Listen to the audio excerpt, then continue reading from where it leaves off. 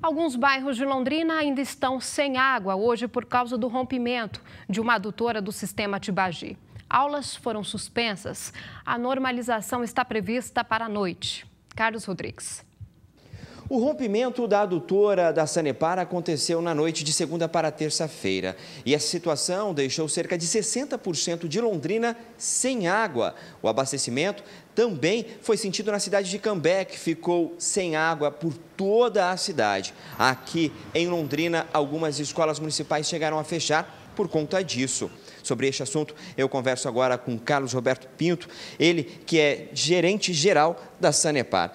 Carlos, como é que fica essa situação, não é, agora de abastecimento na cidade? Já está ah, regularizada essa situação? A produção de água desde ontem, no meio da tarde, já está normalizada.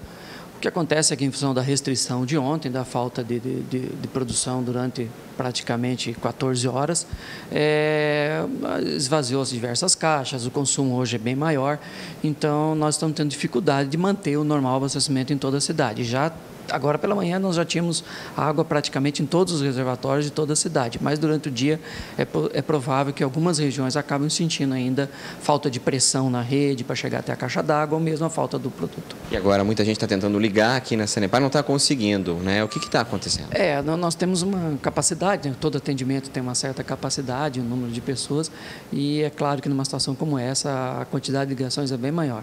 Eu peço até que espere, porque agora de manhã já temos diversas regiões da cidade sem problema problema. Então já deve reduzir bastante o número de ligações que as pessoas. Mas não deixe de nos avisar para que a gente possa encaminhar essas equipes. O importante é que as pessoas liguem é, para o 0800 e nos informem qual o ponto onde isso está acontecendo para que a gente possa as equipes ou até direcionar a água de um lugar para outro, isso é possível fazer para que a cidade toda é, não, não fique pontos com, com, muito tempo sem, sem o produto. Muito obrigado pelas informações. Carlos Rodrigues, para o Jornal Tarobá.